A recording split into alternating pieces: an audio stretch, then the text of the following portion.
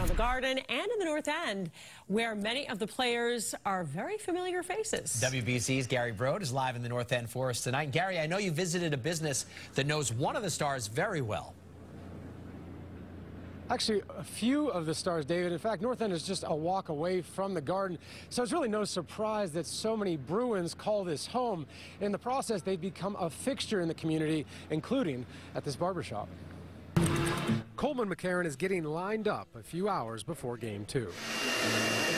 Sitting in the same chairs some of his favorite players have sat before. Yeah, that's kind of how I first saw the uh, place. A bunch of the Bruins on Instagram, seeing uh, seeing them being tagged here and everything. Manager Matthew Capello has seen many Bruin greats come through, perhaps no greater than future Hall of Famer Patrice Bergeron. When he first came in, it was awesome. It was, I was starstruck. It's like one of the, you know, they're like one of the neighborhood guys. They're honorary North Enders now, you know, because they've been here for so long and treat it like their own neighborhood that they grew up in. Bergeron started coming here more than a decade ago, and not always for a fresh cut. A couple years back, Bergeron got some ink added to his left arm.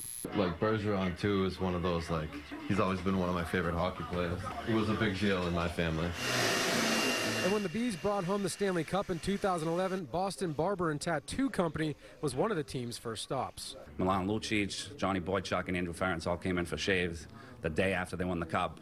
And then Andrew Ference's day with the Cup, he actually brought it around the North End and uh, brought it by the shop. It was pretty, pretty really cool experience. It sounds like a pretty fun experience there. The manager says he's hoping that they'll stop by again when they win it this year. Uh, guys, just to give you an idea of this barbershop, not only is there a barbershop and a tattoo shop as well in there, there's also a cafe, and at 4 o'clock, it becomes a bar, so you're kind of understanding why so many Bruins players like to frequent here. Reporting live here in the North End, Gary Brode, WBZ News.